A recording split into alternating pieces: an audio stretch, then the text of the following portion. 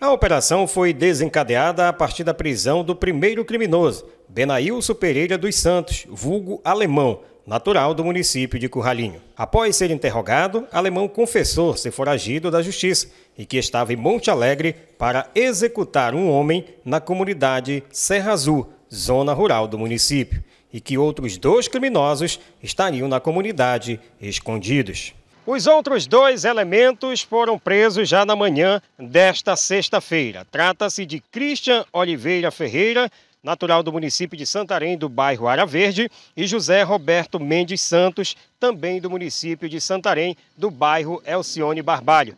Esses elementos estavam escondidos em uma região rural aqui de Monte Alegre, conhecida por Serra Azul, uma região de difícil acesso. Segundo informações das polícias civil e militar, a intenção desses três elementos foragidos da justiça, três elementos de alta periculosidade, era executar um homem lá na região do Serra Azul. Bom, a princípio o que nós podemos é, relatar é que resultante da operação nós tivemos a prisão de três pessoas. Três pessoas é, que se encontravam na situação de evadidos do sistema penal, ou seja, aquela situação que o preso sai é, de indulto e não retorna e fica nessa condição de evadido. Iniciou essa operação com uma abordagem da Polícia Militar que demonstra a importância das abordagens, das operações que acontecem nas ruas. E de uma abordagem resultou na prisão desses três indivíduos é, de alta periculosidade, com a apreensão dessas armas de fogo que seriam utilizadas em alguma ação criminosa no nosso município. Foi feita uma apresentação na delegacia, é, pouco depois da meia-noite, e onde um, um, a pessoa que foi apresentada estava com um papelote de substância entorpecente e supostamente com uma moto furtada. Interrogado seu nome, percebeu-se, verificou-se que ele não falou a verdade referente ao nome dele e durante o interrogatório resolveu falar o seu verdadeiro nome. Onde averiguado no sistema, é, percebeu-se que ele tinha uma vasta ficha corrida de crimes, onde respondia por diversos crimes.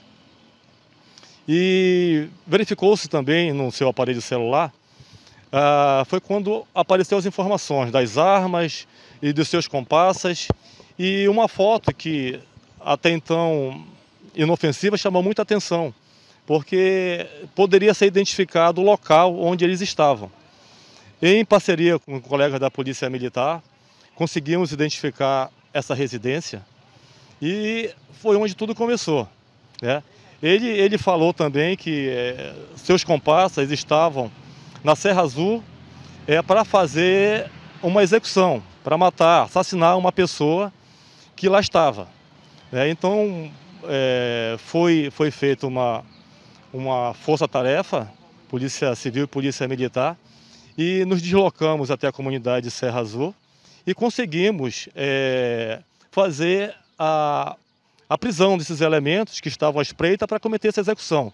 Chegando no local indicado por alemão, a polícia surpreendeu os outros dois elementos que estavam na mata, com três armas de fogo, sendo duas de grosso calibre, arma calibre 12. Eles estavam se utilizando de uma residência naquela localidade, porém foram abordados é, na, na, no ramal lá que dá acesso ao local onde eles estavam. Não houve reação a parte deles.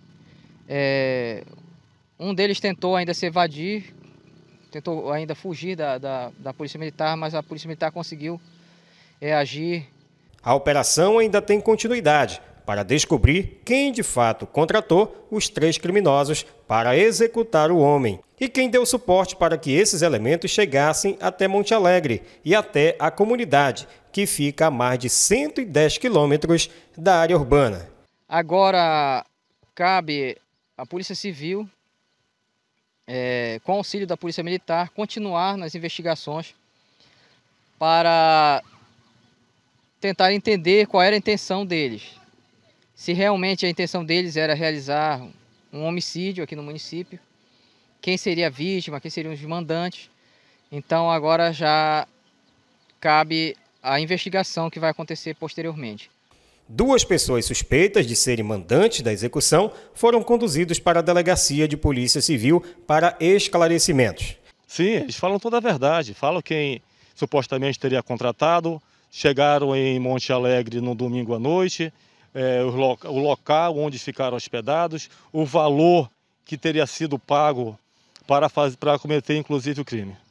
Durante a operação policial, foram apreendidos duas motocicletas, sendo uma com registro de roubo, 830 reais, 16 munições calibre 38 intactas, 23 munições calibre 12 intactas, duas armas de fogo calibre 12, uma arma de fogo calibre 38, três aparelhos celulares, diversos materiais para acampamento em área de mata e gêneros alimentícios.